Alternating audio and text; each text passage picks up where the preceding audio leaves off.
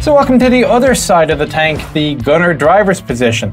Uh, it has just been described to me as a very easy tank to drive, but not an easy tank to drive well. Uh, I was reading uh, one of the British Army reports described the ride as akin to that provided by a camel because of the pitching effect caused by the short track base. Now, what he doesn't say is where he found a camel to make the comparison to, uh, but what can you do?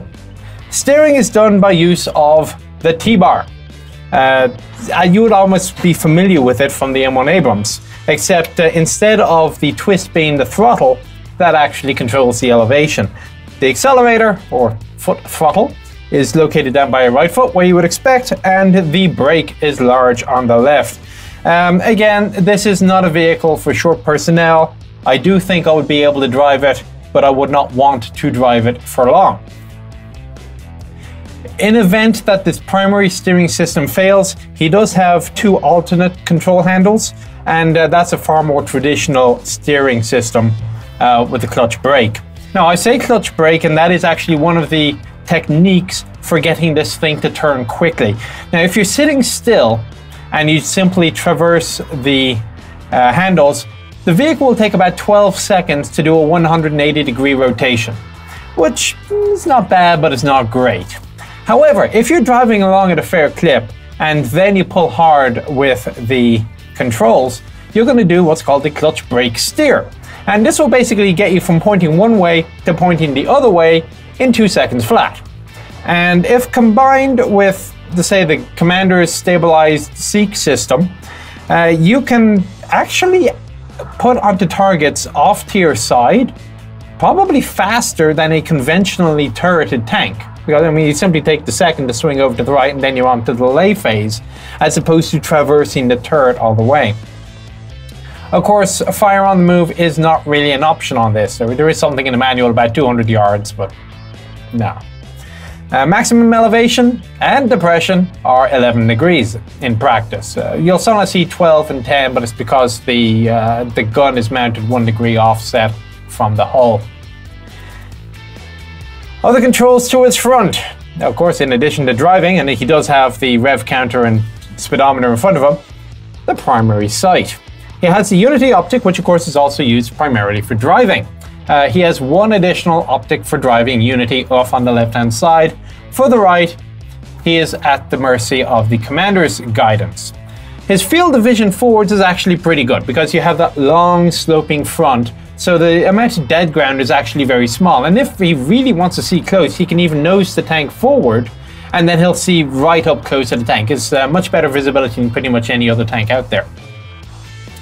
Inside the primary sight, there are two circles. Each circle represents the field of vision for the different range scales.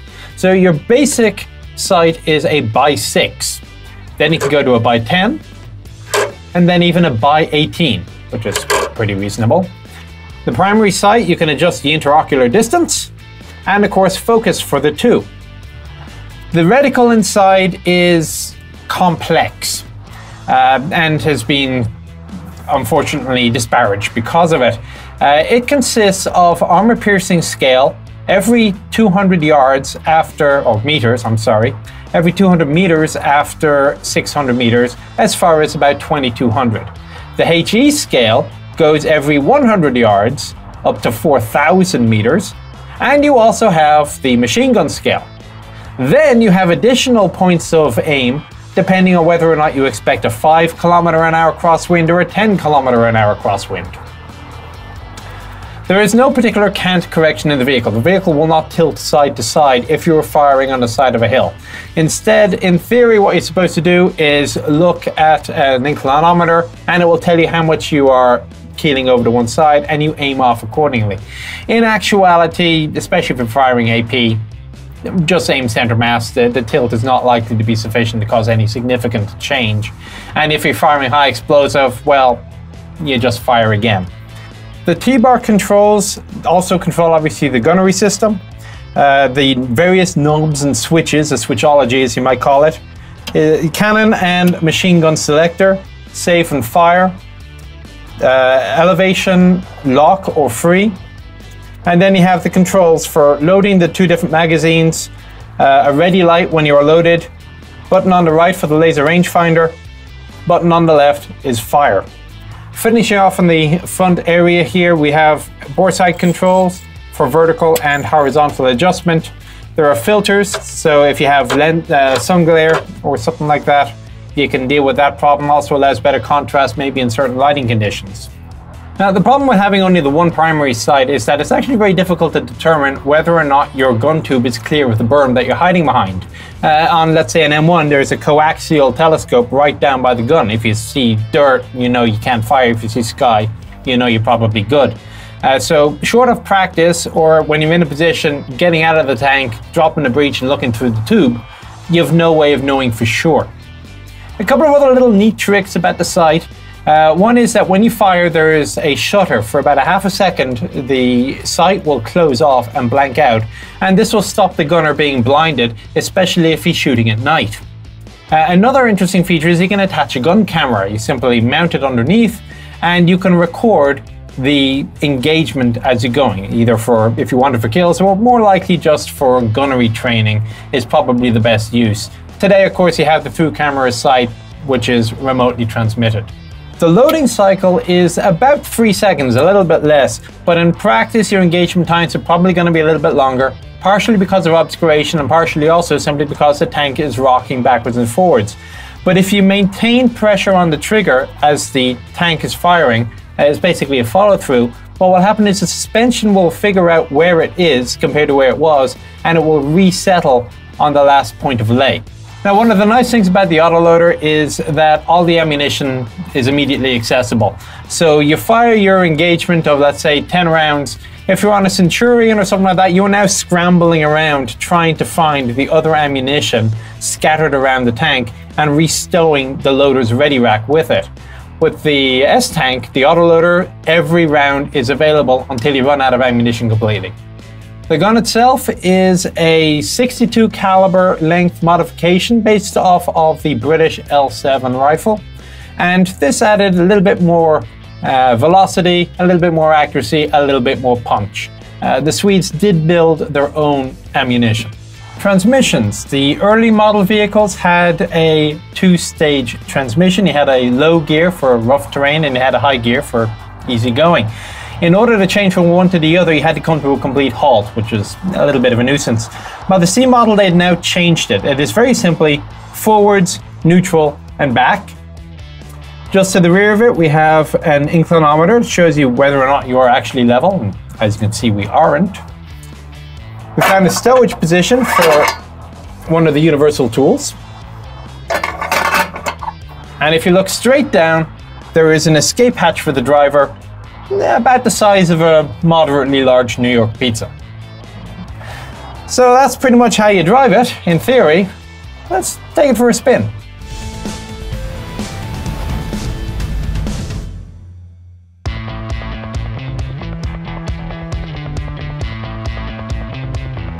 And push start. Well, that seems simple enough. That was very easy. Okay, the transmission light is on. There we go. A little bit of suspension. Okay, so I'm, I'm, doing this slowly. I mean, I, I can do this very slowly. Look, look, look at that small amount of elevation change.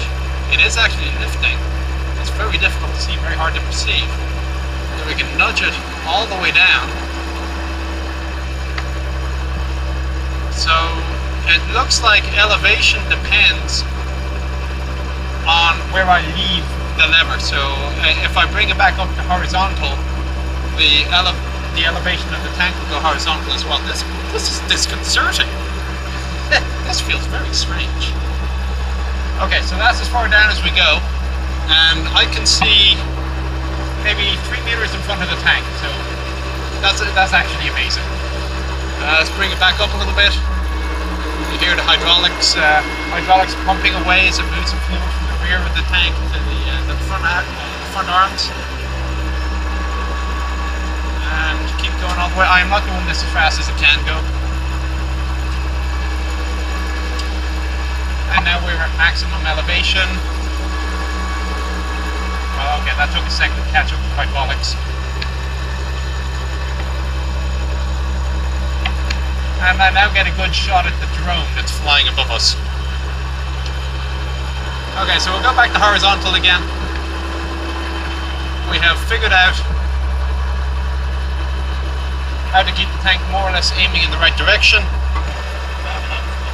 Okay, so we have another switch for the gas turbine.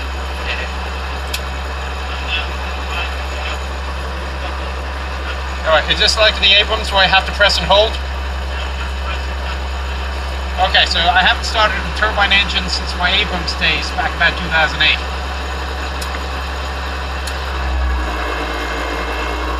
I'm waiting to hear the whine.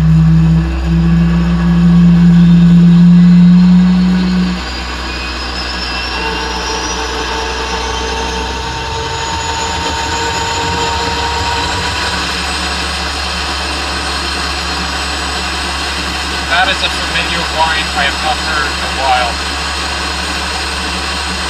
Oh, I'm a happy man now. Just start with the financial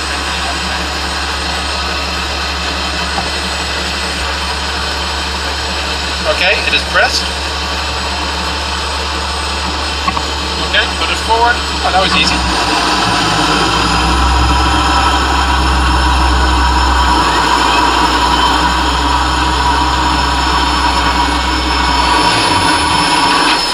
Stop. Okay, so I have to do that first. I have now stalled my first tank. So what, what happened there, if you, because you can't of course hear the intercom system, is I failed to apply sufficient accelerator while we were in gear to affect a turn. And I was a little bit reluctant because as soon as I let go of the brake, the tank started to go forwards. Uh, so lesson learned. It'll take me a go or two, I'm sure. Uh, hopefully I don't break the tank with all the starting and stopping.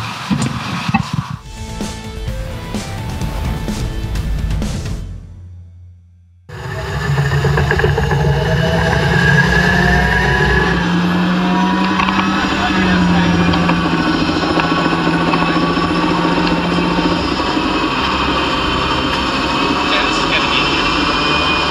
So it is possible to elevate the presses of light.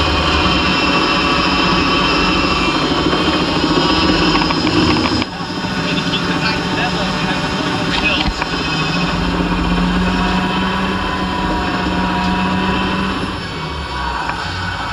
Neutral. So visibility to my right is okay. It's not bad. I can see to the rear, which most tank drivers cannot. And then, of course, you have the rear driver, so I think it's easier.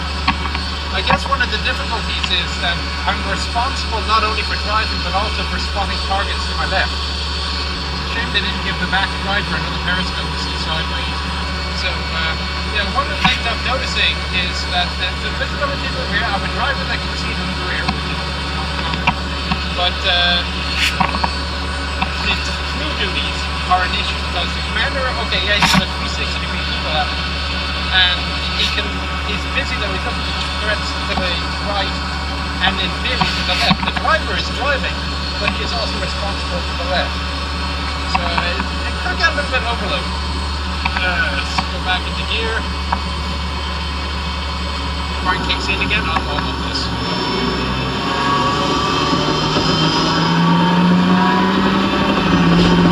It's actually not an uncomfortable ride.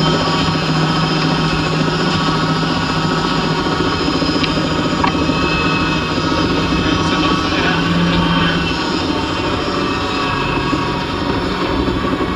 It's a, little different from driving in the middle and you know exactly where the middle is. So I can now the press signal that's a little here. So now if you were to look at the side of the tank, I'm now climbing up the hill and in the press angle.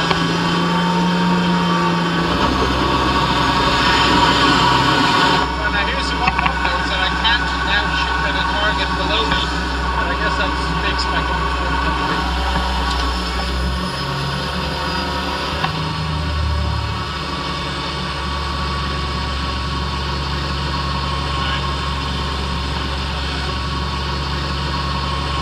Reverse the meter. Okay. Behind us.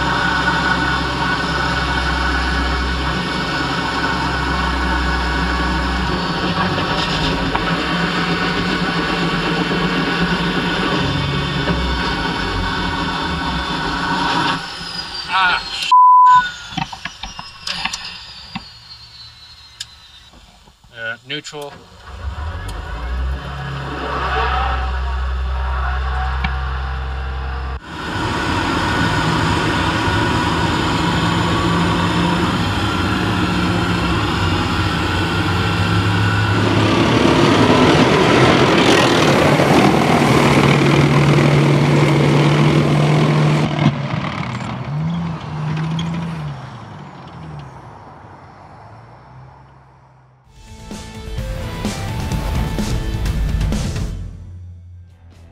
Well, that was it. The S tank.